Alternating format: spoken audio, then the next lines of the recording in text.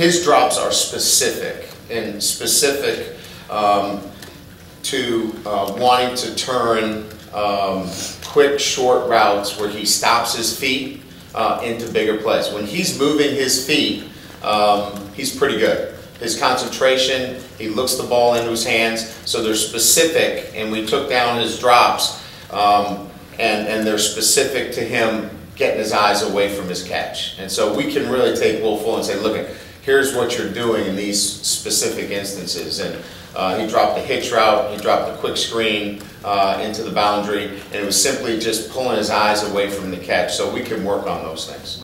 Yeah, I, I think in a, in, a, in a different sense, we have really uh, begun this process in January, uh, and we've talked about um, we don't rise to the level of our competition, we sink to the level of our preparation. And that's really where we are. Um, and our players know it. It's, been on the back of our shirts in summer conditioning because we knew what this schedule looked like.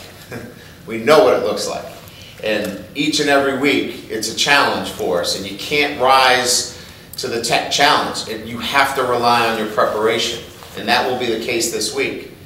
Uh, it'll be about what we do and our preparation that will determine what happens on Saturday, because we know Purdue and what they're going to do. They're, they're going to play their very best. Circuit training on that every single day. Circuit train, tackle every single day. Um, it's it's what we do in every single practice, and we teach it. And there's not a day that when we're we've got our pads on that we're not circuit training the tackling uh, procedures. Um, it's fundamental. Um, it's been ingrained since I've got here. Uh, we've been a good tackling team. I think we're a better tackling team. He loves football. He loves the X's and O's of it, and Matt is of the same cloth. I mean, those guys are you know, if they could just watch football film all day and just close the door, that's what they would do. So uh, they've been able to build a strong bond that way. Um, and, and so uh, their communication when it comes to, you know, technique and uh, rhythm and drops and all the things that are central to uh, great quarterback play, um, they're able to share that on a day-to-day -day basis. Well, as you know, Tony is uh, you know, somebody that has been here uh, prior to me getting the job, and you know, just just a great, great staff member, great personality, um, easy to get along with. It's got a great family.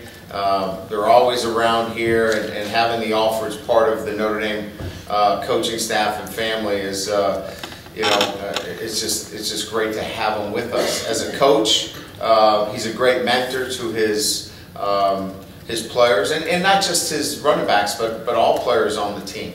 Um, as a recruiter, he's he's hardworking. Um, he, he builds great relationships and connections with players uh, throughout the country, high school players. He has a great way about him that uh, he's able to communicate effectively with uh, with the kids that we're recruiting. So um, I think I think in that sense he's uh, you know, he's invaluable to what we do here at Notre Dame.